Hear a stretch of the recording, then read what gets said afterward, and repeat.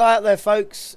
In this video we're going to be looking at force feedback in the sim Le Mans Ultimate by Studio 397 and Motorsport Games and how to get it feeling just right. In fact, um, for those of you who know R Factor 2, uh, getting it to feel as close as damned it to R Factor 2, which has amazing force feedback. I know this as a long time R Factor 2 user. And hopefully this video should help a lot of you out on different wheels. But uh, it should definitely help any of you out who are using a Fanatec. I'm on a Fanatec uh, Club Sport wheel. Uh, it's a CSW 2.5 and uh, it'll specifically help you out for that but it should also help uh, users of other wheels because there's one very important setting that I think people miss um, now before I get any further I've got to thank uh, Flip Flops for he actually gifted me this game or, or, this simulation. Thank you ever so much, mate. And uh, when I first went round to his house to try this sim out before I had it, um, I didn't know what to expect because I'd heard all sorts of things on the forums, uh, uh, different forums, as, as well as uh, Studio 397's own Le Mans Ultimate forum. Uh, I've heard them at Race Department. People saying that the force feedback in LMU was not as good as R Factor. Other people were saying it was better. Other pe people were saying uh, they were having all sorts of terrible problems with it. And I didn't know whether to expect something half decent, good, or uh, a complete mess. And when I did try it, I was actually reasonably impressed. Um, however, since I've had it on my own rig, um, I have been finding the force feedback a bit weird, a bit clunky, not as good as R Factor 2. And I can tell you now, I have managed now with uh, a couple of days of tuning it in to get it feeling pretty much just like R Factor 2 and I'm really really happy so I'm going to show you how I did that um, so we're going to go into uh, oh but by the way for this uh, we're going to be using the Aston Martin GTE at Sebring so we're going to go into uh, settings go to controls and go to force feedback and I really hope this helps someone out. So these are my force feedback settings for my wheel. Um, as you can see effects are on. I don't need to invert the forces for this wheel so they're off. My wheel is an 8 newton meter base so that's what I've got it at. My force feedback strength is 55. No force feedback smoothing, no minimum steering torque and uh, collision strength and steering torque sensitivity are at defaults of 100 and 150 there. And I am using also uh, constant steering force effect. Um, I'm not sure exactly what that means, but it seems to help. Um, I'll come back to that in a moment. Anyway, the really important bit here to get this sim feeling really damn good is uh, under calibrate. So if we come down to this section here, you've got now there is a preset in this as you can see down here by detected devices. It's detected my wheelbase. So it does all of this as a default setting.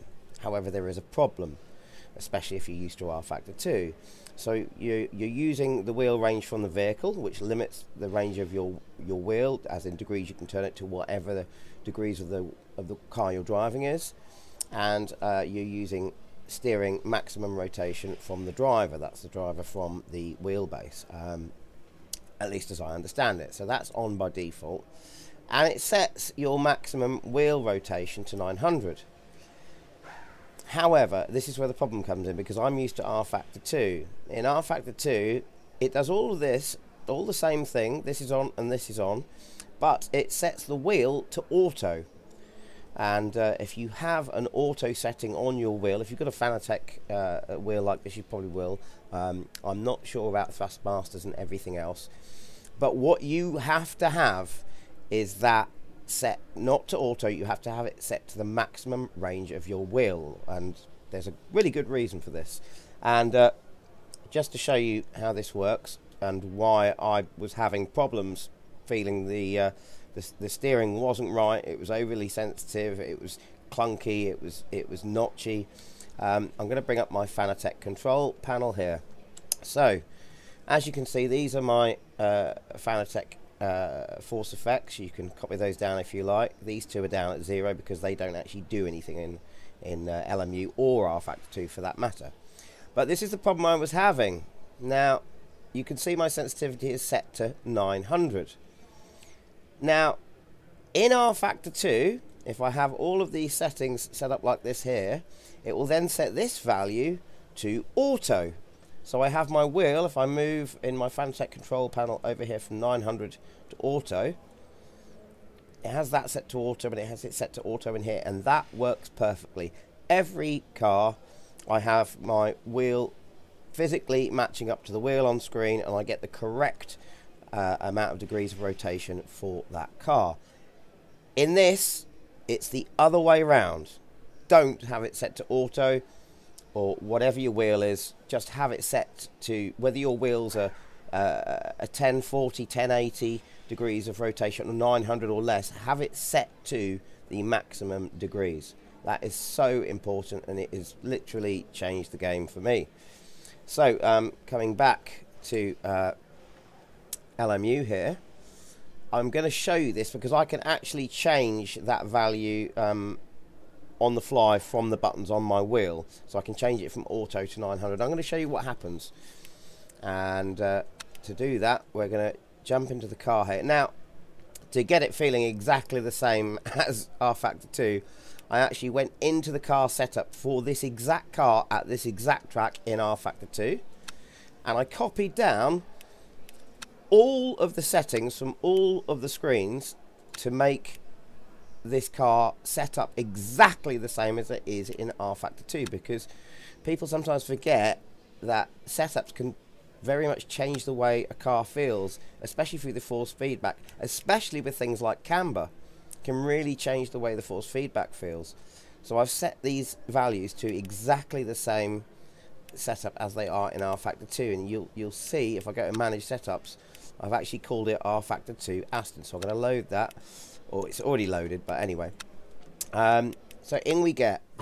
Now, I've got my wheel set to 900. If you watch the wheel on screen, hopefully you can see my wheel here um, physically through the camera here. If you watch, I'm going to turn my wheel and it goes all the way to the soft stops just there. I will just mention, by the way, that R Factor 2, it actually engages the hard stops of these wheels, brings them closer in, which I really like. Um, in LMU, it's just stop, soft stops, but they are quite tough, so that's fair enough. Um, but that's matching exactly. Now, if I change my wheel, its sensitivity from 900 to auto, so I'm going from 900 and I'm changing that to auto. Now watch what happens. I've turned my wheel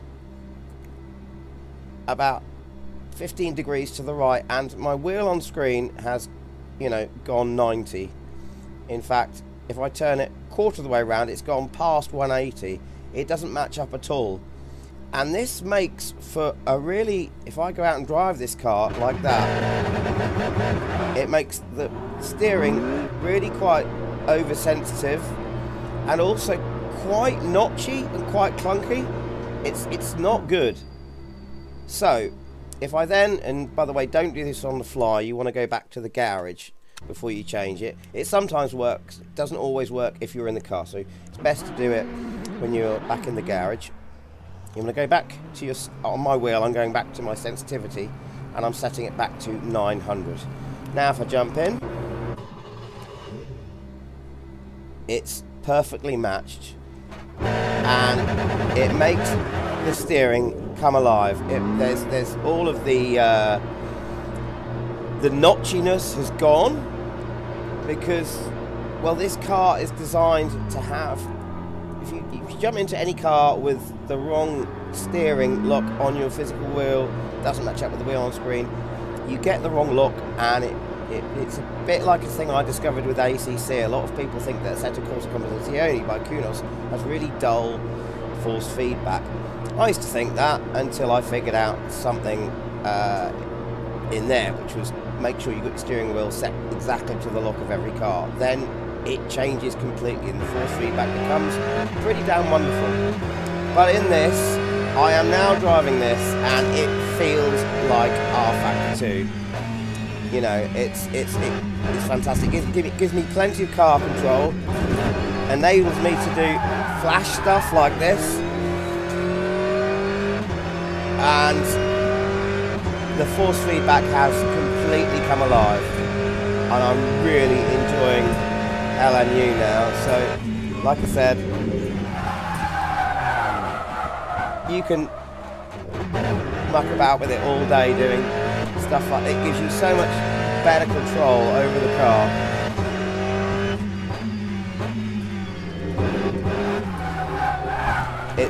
Just, it, and it feels great. I can feel everything. Let's have a look at that on the replay.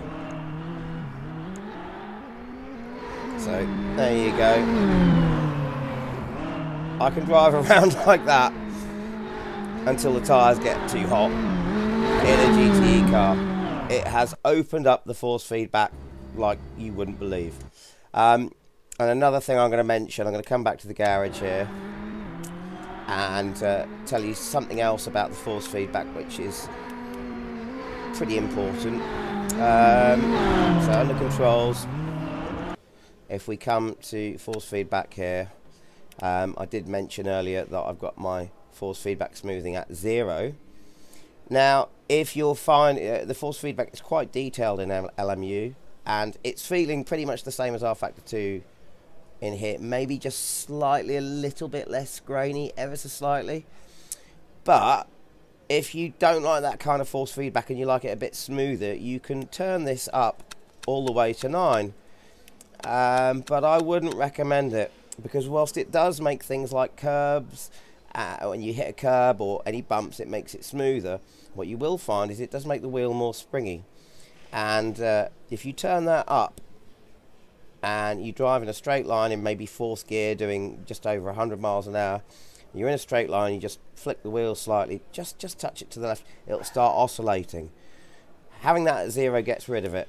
Um, and down here I don't know what this means I don't know what it does but I put it on because that helps with it seems to help with oscillations but you can leave that on or off. For me it seems to I'm not quite sure. Anyway um, I just wanted to get that out there for anyone who's struggling with the force feedback and like I said I'd, I'd keep that at zero I really would recommend it um, I've got this the car feels about the same weight as it does in R Factor 2 with this set at 55. In R Factor 2, I have the force feedback strength at 100, but then, uh, sorry, at 45, but then the car specific multiplier at 100. We don't have a car specific multiplier in here, so I've had to kind of make an approximation. So uh, we've just got the one value we can change, and at 55, it feels about the same weight, and it feels lovely. Um, but I can't stress enough that the most important thing is have your wheel set to its its maximum rotation. Have the maximum rotation of your wheel set in here to match it. If if you don't have if if your wheel is not detected, then just set this to whatever the maximum rotation of the wheel is, or it'll probably do it for you. But don't use any auto um, uh, uh, options that you have in your software, especially if you're on a Fanatec. I don't know if it will work for Thrustmasters and all sorts of other different wheels, but um, make sure that matches. Like I said, it's the other way around in R Factor. It's just on auto works. I don't know why. Anyway, um, thanks for watching. I hope that helps someone. And if it has, and you like the video, please subscribe to the channel. It really helps with the upkeep of the channel. All the best. Happy sim racing.